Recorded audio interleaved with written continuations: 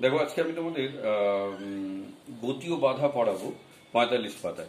একটা রবারের বলকে যদি গড়িয়ে দেওয়া যায় তাহলে বলটি কিছু দূর গিয়ে থেমে যাবে। আবার যদি পা দিয়ে শট মারা যায় তাহলে আরও অনেকখানি যাবে। এটা তোমরা আগের দিনই পড়ছিলে যেরকম আমার কাছে আর কি।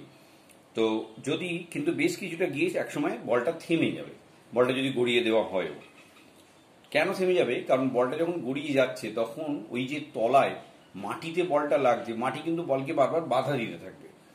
ধরো আমাদের স্কুলে, ক্লাসে যদি একটা বড় টেবিলকে ঠেলা যায়, তাহলে দেখবে যে একা যদি তুমি ঠেলো পারবে না, কিন্তু বেশ কয়েকজন তোমার বন্ধুরা যদি তোমায় ঠেলে দেয়, তাহলে দেখবে পারা যাচ্ছে।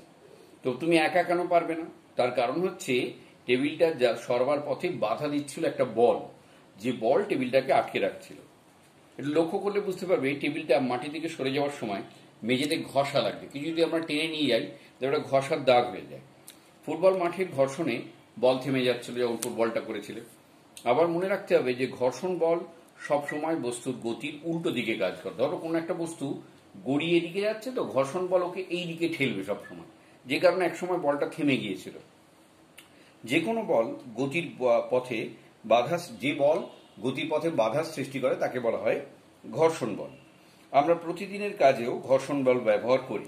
যেমন ধরো ঘর্ষণ বাধার জন্য কোনো লম্বা জিনিসকে যদি দেওয়ালে ঠেস দিয়ে রাখা যায়, তাহলে ঘর্ষণ বাঁধার জন্যই সেটা আটকে থাকবে। যেমন মই যখন দেওয়ালে লাগানো হয়, দেখবে মইটাকে লম্বা করে লাগিয়ে দেওয়া হয়। এই ঘর্ষণ বাঁধার জন্যই মইটা কিন্তু আটকে থাকে। ঘর্ষণ বাঁধার জন্যই ডিসলাইয়ের বাক্সে যখন বারুদটাকে ঘষা হয়, তখন জ্বলে যায়। আবার মসৃণ মেঝে হলে কোনো জিনিস যদি তুমি টানো, তাহলে সেটা দ্রুত সরে যাবে।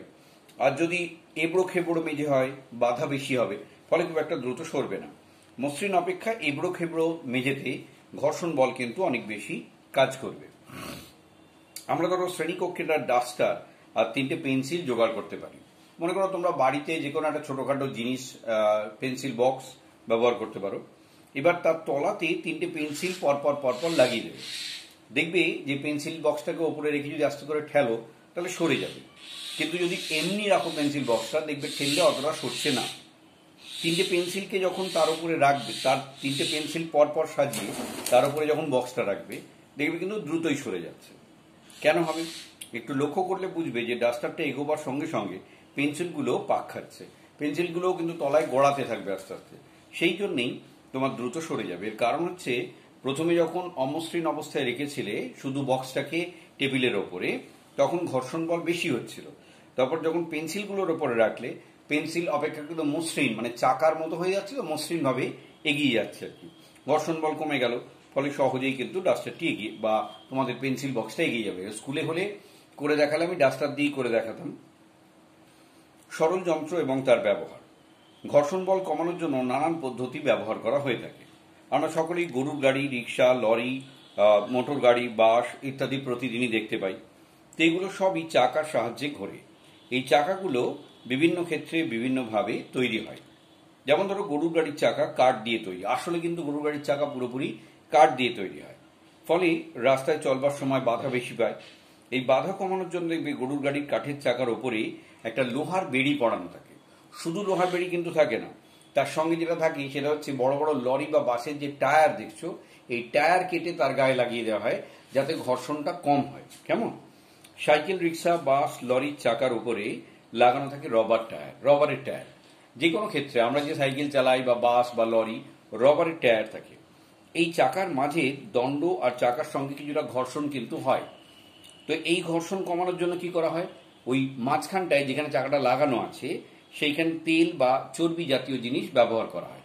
আমরাও দেখবি সাইকেলের, বিশেষ করে সাইকেলের যেখানে হপ আছে, ওখানে তেল দিই মাঝে মাঝে।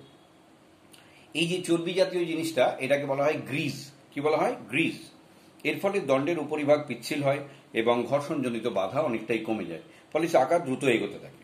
এই কারণে কবজা, দরজার কবজায়, সেলাই মেশিনে, কোলাপসিবল গেটে ঘর্ষণ কমানোর জন্যই কিন্তু তেল বা চর্বি জাতীয় জিনিস দেওয়া হয়। তালা চাবিরও ঘর্ষণ কমানোর জন্য মাঝে মাঝে তালার ভেতরে তেল দিতে হয়। বর্ষাকালে বিশেষ করে তালার মধ্যে জং পড়ে যায়, ফলে আমাদের তেল দিতে হয়।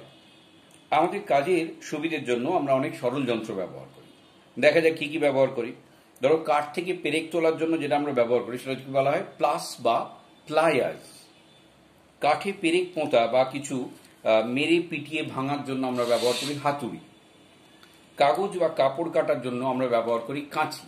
কাগজ বা কাপা- কাপড় কাটার জন্য। গরম কড়াই বা চাটু ধরার জন্য আমরা ব্যবহার করি সরল যন্ত্র সাঁড়াশি সুপারি কাটার জন্য আমরা সরল ব্যবহার করি, তার নাম হচ্ছে জাঁতি। উনুন থেকে গরম কয়লা তোলার জন্য আমরা একটা চিমটা ব্যবহার করি, তাকে টং ইংরেজিতে বলা হয় চিমটা। বাংলায় বলা হয় চিমটা আর ইংরেজিতে টং। পাম্প করার জন্য টিউবওয়েল, টিউবওয়েলের হ্যান্ডেলটাকে আমরা ব্যবহার করি, এটাও একটা সরল যন্ত্র মাটি কাটার জন্য আমরা ব্যবহার করি কোদাল। কাঠ বা ডাল কাটার জন্য আমরা ব্যবহার করি কাটারি বা দা।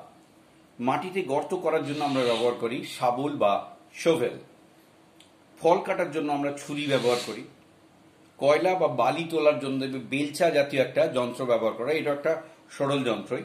মাটি উল্টাবার জন্য খুরপি বা কোদাল ব্যবহার করি। মাছ ধরার জন্য আমরা ব্যবহার করি বঁশি বা ছিপ। পুরো কথাটা ছিপ অ্যাকচুয়ালি তার মধ্যে বঁশি লাগানো থাকে। আর গাড়ির নাট খোলার জন্য আমরা ব্যবহার করি স্ক্রুড্রাইভার। এই সমস্ত সরল যন্ত্র কিন্তু আমরা ব্যবহার করি এবং এই সরল যন্ত্রগুলো দিয়ে আমরা নানা রকম কাজ করতে পারি। আজ তাহলে এইটুকুন থাক। কেমন? তোমরা সবাই ভালো থেকো।